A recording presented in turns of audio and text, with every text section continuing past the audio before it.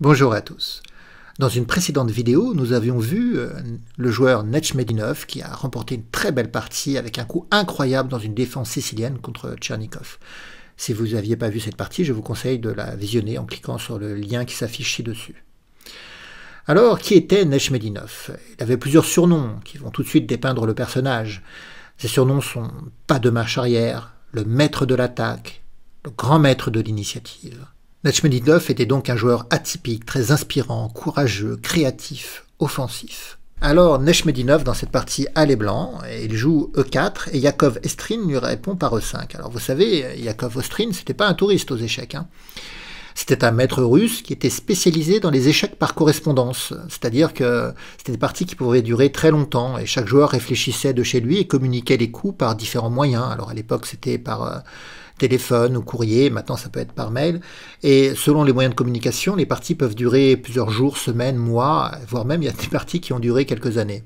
Et Yakov Estrin était devenu grand maître euh, des échecs par correspondance il avait même réussi à obtenir le titre de champion du monde. Et à l'époque, c'était quand même très très intéressant parce qu'il n'y avait pas d'ordinateur, il n'y avait pas de euh, logiciel et de programme d'échecs, donc c'était vraiment euh, le raisonnement humain.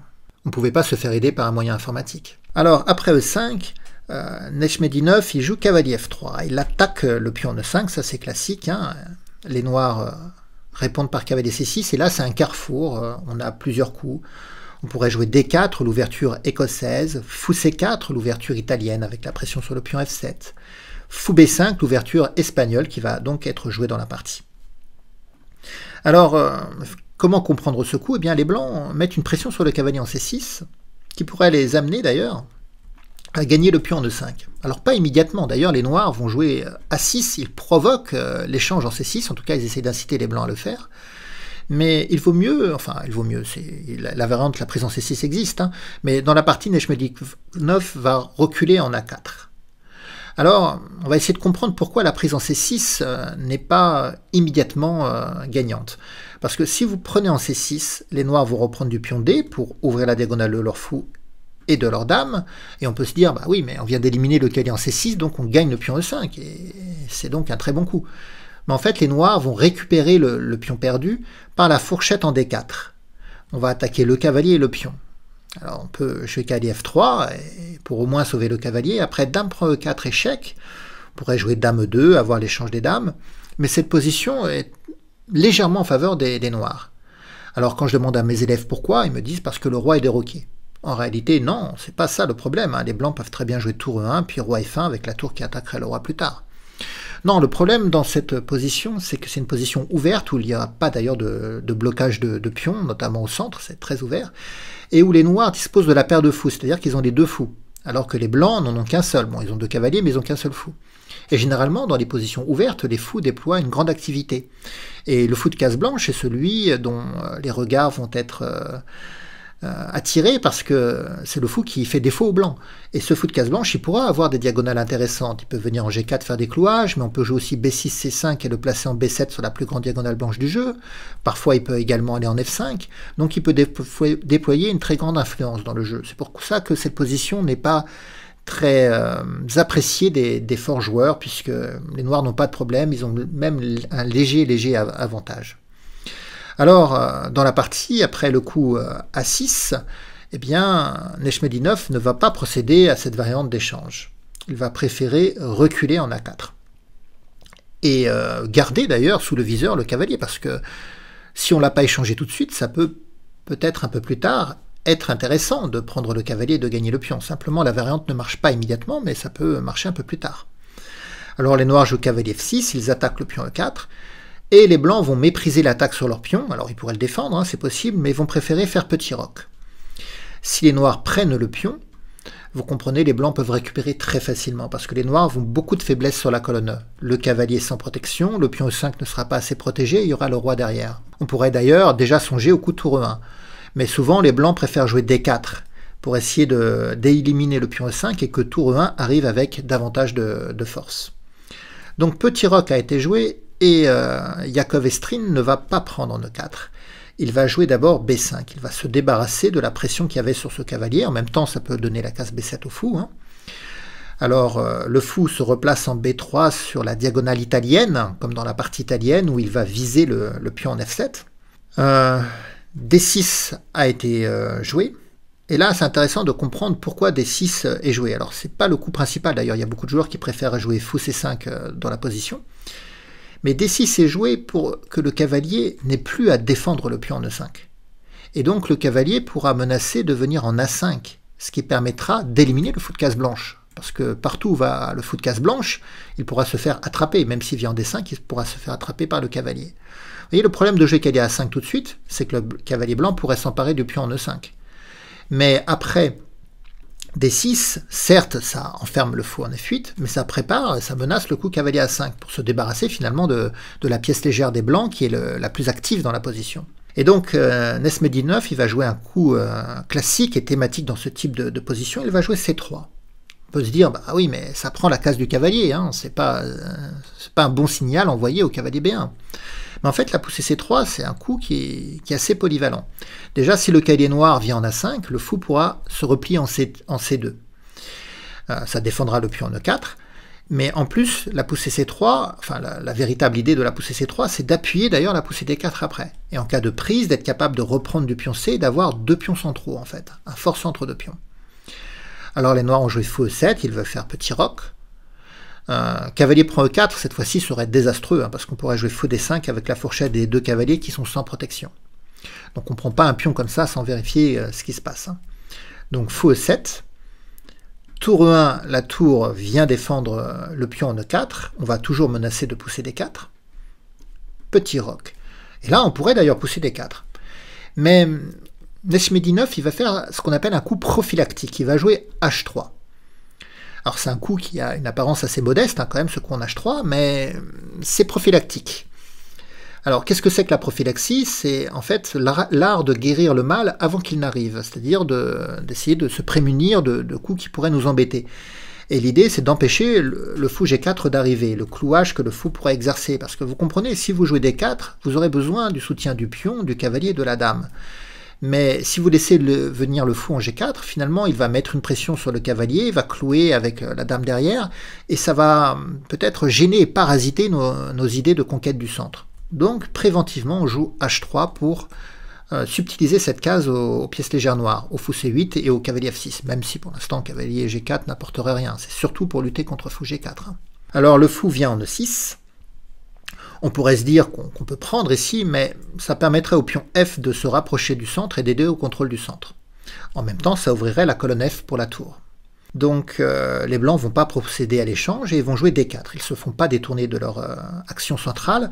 Et là, on a la menace d'ailleurs de jouer D5 et de faire la fourchette cavalier fou. Donc faut que les noirs fassent quelque chose. Ils vont réagir en prenant le fou. Et Neshmedinov va reprendre de la dame. La reprise du pion a ses vertus aussi, hein, parce que ça ouvre la colonne A à la tour. Mais il a préféré reprendre de la dame. Donc le pion D4 est attaqué deux fois, mais défendu deux fois. Le pion E4 est attaqué une fois et défendu une fois.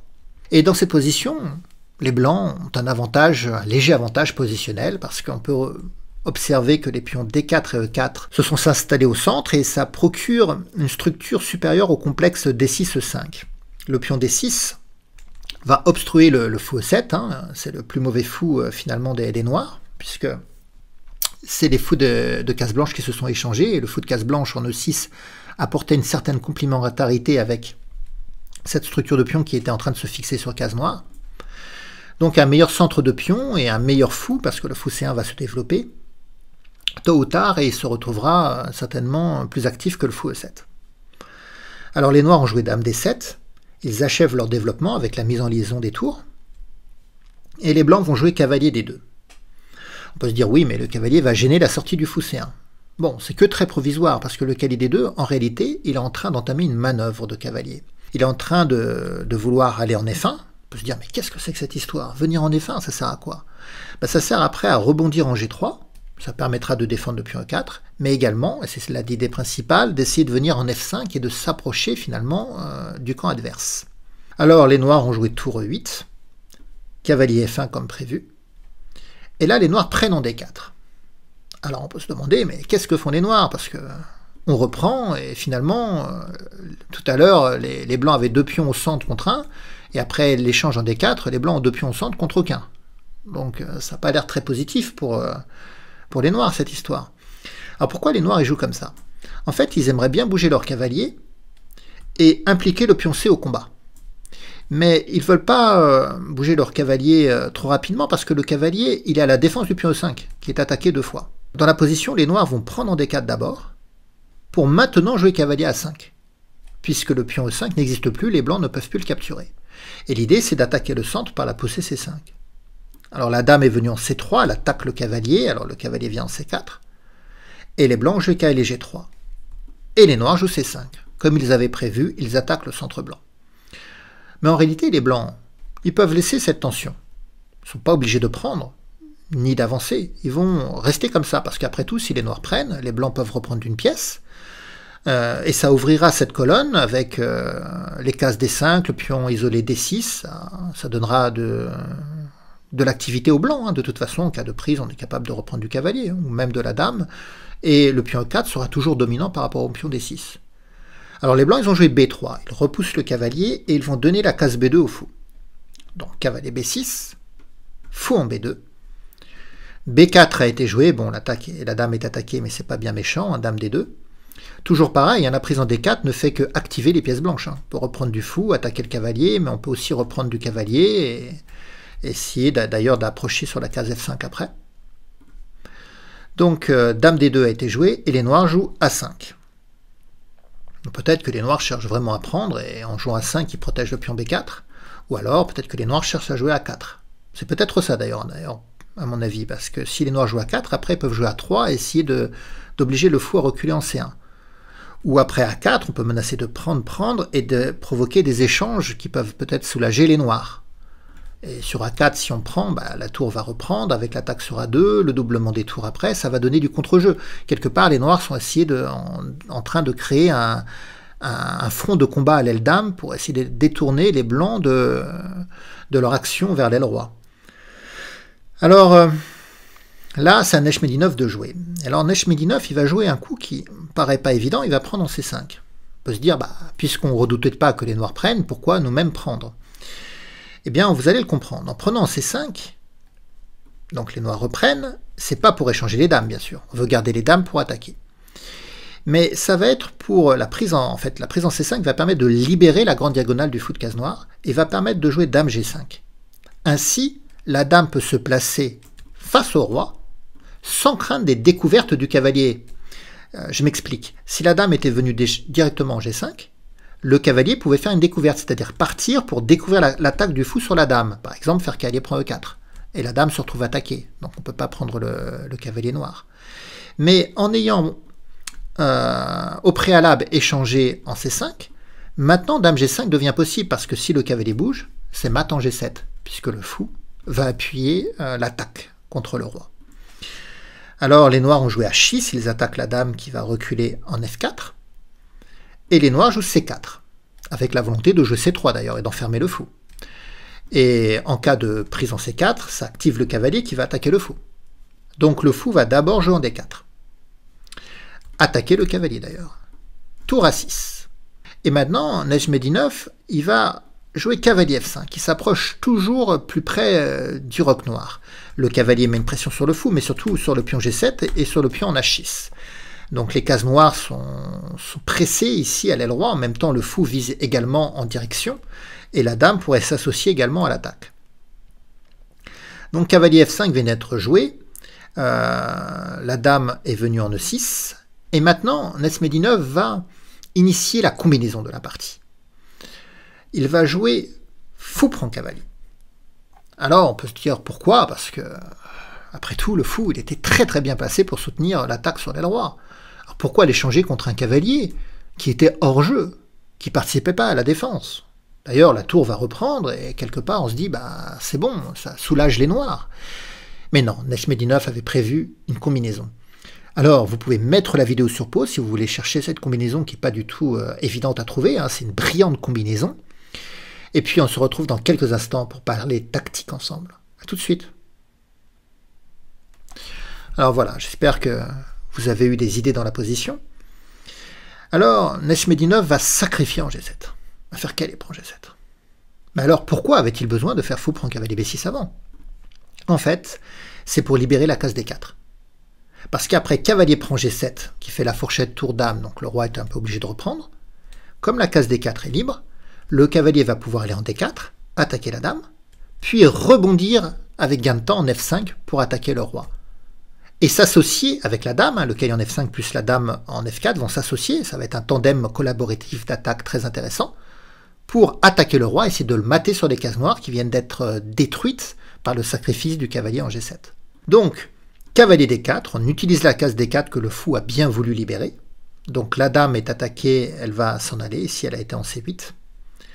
Cavalier F5 échec, donc euh, roi G8. Le problème, c'est que si vous jouez roi F8, roi H8 ou roi H7, vous avez dame prend pion H6, avec un mat rapide. Hein. Donc, euh, si vous jouez pas, je sais pas, roi H8, vous avez dame prend H6, et même si le cavalier vient en H7, c'est dame G7 mat derrière. Donc c'est pour ça que le roi vient en G8. Dame G3 échec, alors si le roi bouge en F8, H8 ou H7, euh, bah, c'est mat, hein, dame G7 mat.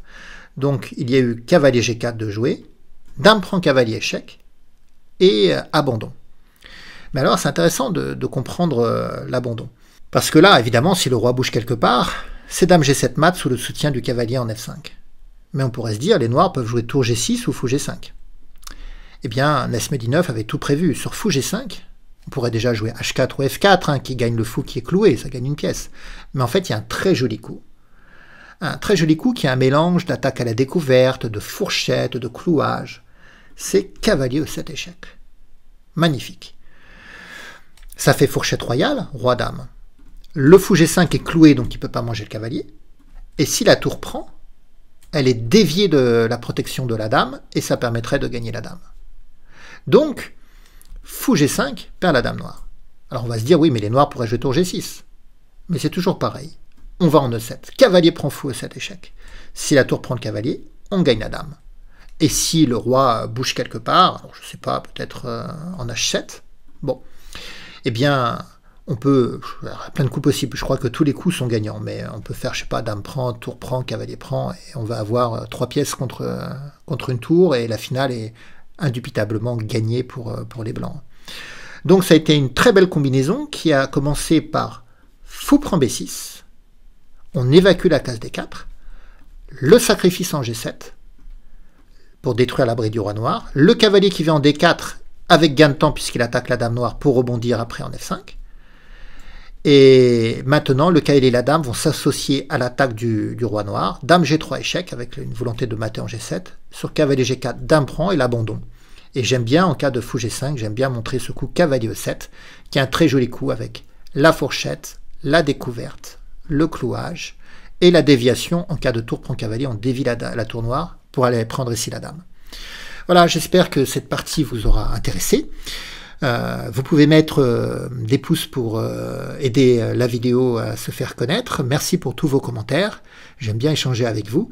Et puis vous allez pouvoir revoir cette partie si vous le souhaitez en accéléré, sans mes commentaires, avec une musique, pour essayer de se remémorer la partie, de se la réapproprier, d'essayer de retrouver les, les enchaînements.